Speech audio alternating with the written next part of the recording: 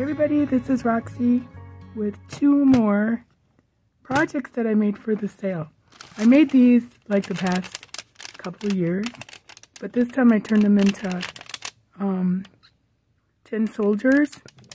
They're a little braid on the side, but they're little gnome. I hope the gnomes are still popular today. See their little nose.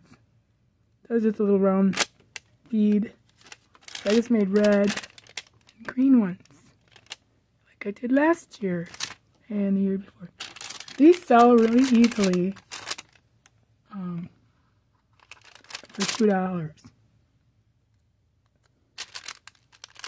And I thought I got rid of my other clothes pegs, the vintage ones, but I found them. So that's those. They're really kind of fun to make. They all have their own little personality.